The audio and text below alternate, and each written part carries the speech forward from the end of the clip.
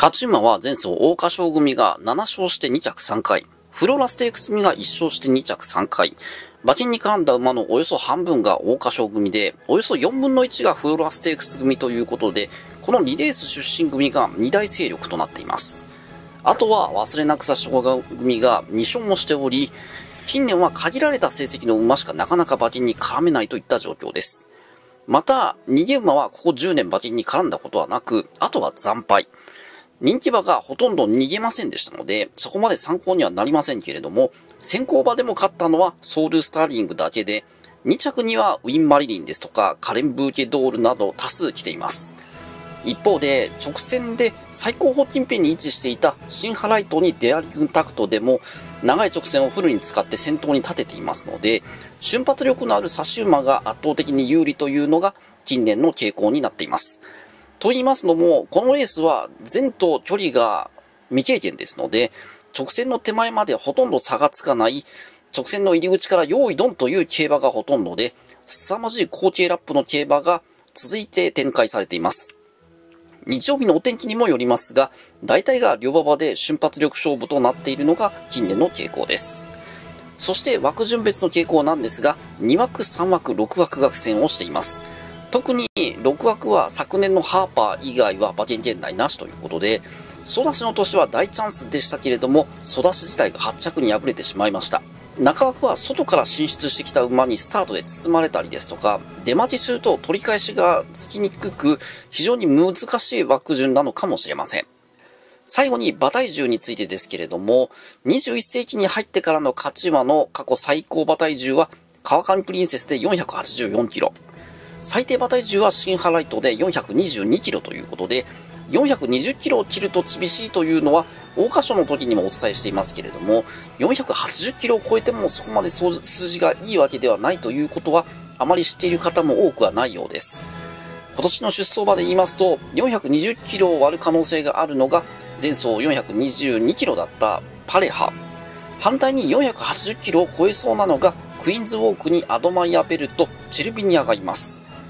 馬体重が落ち着いたり小さすぎたりしても、2着3着には普通に500キロ超えの馬もやってきていますので、単勝を買うにあたっては気になるデータですけれども、相手候補としては全く問題のないことです。今年もどちらかというと、パワーというよりもスピードの持続力が求められる条件となりそうですので、その点、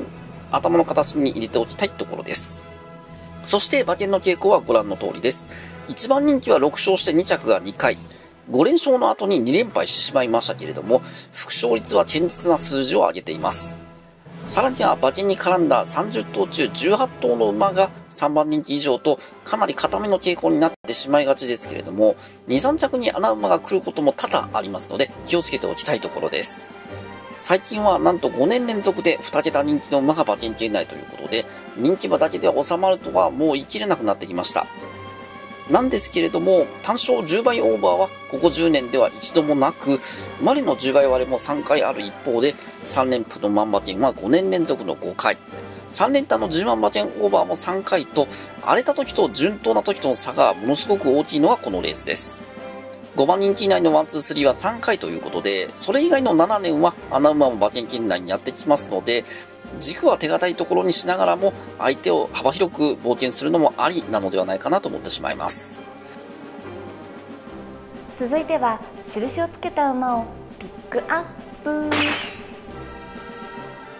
本命はステレンボッシュです。前走の桜花賞はアスコリピッチェの徹底マークしていましたけれども、マークが外れたかと思いきや、すでにインを取っていて、4コーナーを曲がったらすでに V ロードが完成されていたという卒がない競馬でした。今回は距離が一気に伸びますけれども、血統面を見ても、近々に 2400m 戦を制した馬がゾロゾロ出てきますので、距離延長はむしろ歓迎材料ではないかと思わせるほどです。追い切りの動きも馬なりでコバが重賞で出すような時計も出してきましたので、出遅れか不利がない限りは優勢なのは揺るがないところです。単勝1馬台や2倍台で崩れた馬というのは、ここ10年間でソダシの1頭だけしかいませんので、1着はまだ分かりませんけれども、連軸としては完璧なデータとしましたので、本命としています。そして対抗はクイーンズウォーク。前走の桜花賞は苦手なマイル戦だったんですけれども、伸びもじわじわとしたもので、適性のなさを痛感させるようなものでした。兄弟にグレナディアガーズがいますので、一見マイルか短距離に適性があるようにも見えますが、実際は全く別のタイプだと中内田調教師が説明するように、この馬はマイルよりも中距離に適性があるのが桜花賞の前の時点から分かっていましたので、この舞台への適性は間違いなく前走よりもあるのかと思えてなりません。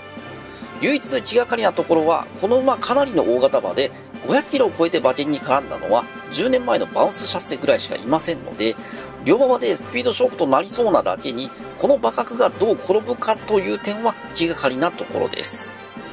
そして3番手はライトバック。前走の桜花賞は控えたポジション取りで道中最高峰近辺を追走していましたけれども、大外を回すと上がり32秒台の末足で先頭を捉えるかというところでゴール板を迎えてしまいました。気象面でももともと不安があった分、それが解消された場合の末足を使えたというのは、それこそ何ですか？はいはい。うん、ご飯ね。はい。後で行きますんで。はい。桜花賞で32秒台の末足を使えた馬というのは、それこそリバティアイランドにクロノゼネシスとオークス上位馬にも名を連れなっている馬もいます。ただ、この馬は気象面は非常にデリケートですので、当日のスタートになってみないとわからない部分が残っているのが気になるところ。今回はスタンド前発送ですので、悪い方に出ると馬券どころではなくなってしまいますので、ここまでの評価となりました。以下、今年は府中で行われたトライアルの重賞競争がちっとも荒れていませんので、それもここで踏襲するのではないかと振っています。ミアネーロなど穴馬も上げたいところなんですけれども、それだと回収率が伸びませんので、ある程度絞りたいところです。それでは、解明です。ステレンボシからの3連複です。相手はいつもよりそこそこに絞っております。もし午前中に資金的に余裕ができたのならば、3連単一等軸マルチとかも考えようかなと思いますので、その際はツイッターでお知らせをいたしますので、フォローいただければと思います。以上、オークスの予想でした。さて、今週は、日曜日はブログの方で午前中のレースと、日曜メインの新潟もしくは京都のメイン競争の予想をアップする予定です。また、オンラインサロンの方ですけれども、日曜日も平場と特別競争の直前情報、並びに G1 限定情報を配信する予定です。土曜日は成績が伸びませんでしたので、日曜日で巻き返したいと思います。そして、チャンネルメンバーシップの方ですけれども、今週はオークスの G1 限定情報を日曜日のお昼にアップする予定です。オンラインサロン並びにチャンネルメンバーシップの URL は概要欄にございますので、ぜひぜひチェックしてみてください。それでは次回は日本ダービーの展望動画となります。そちらの方でまたお会いしましょう